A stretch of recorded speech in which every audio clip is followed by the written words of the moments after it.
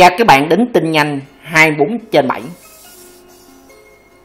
Chi tiết mẫu tay ga độc đáo ATA 160-2024 tại Đông Nam Á với cái dàn chân bánh cầm vỏ không rụt ATA 160-2024 chính là một trong những cái mẫu tay ga được mình lựa chọn để giới thiệu anh em hôm nay cái mẫu xe này đặc biệt ở chỗ số chân mình dàn chân bánh cầm hoàn toàn là chưa hề xuất hiện trên bất cứ nào trong cái phân khúc là ADV phổ thông.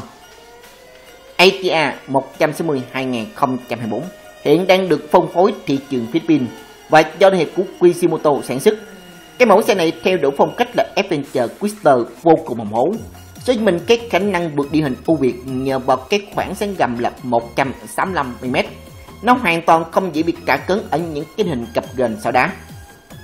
Trang bị cho ATA 160-2024 hoàn toàn không phải dạng bừa khi quy tụ những cái công nghệ cao cấp bậc nhất hiện nay như hệ thống cái đèn lái Pico LED, màn hình LCD tím tí màu, chìa khóa Smart Key, phanh ABS hai kinh, đi cùng với đó là hệ thống kiểm soát kéo traction Control vân vân.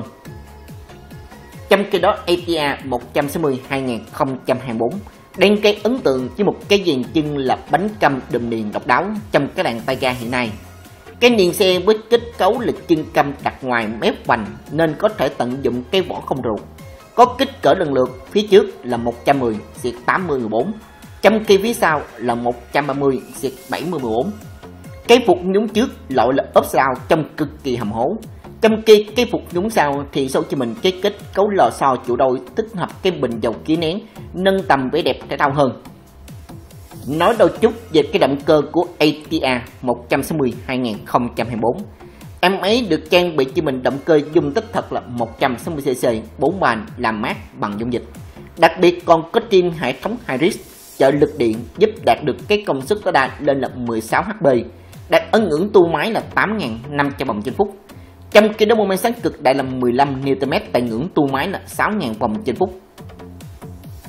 ATA 160-2024 đang có mức giá bán tại thị trường Philippines rơi vào khoảng 159.900 peso. Đổi ra tiền Việt nó tương đương khoảng là 70 triệu đồng.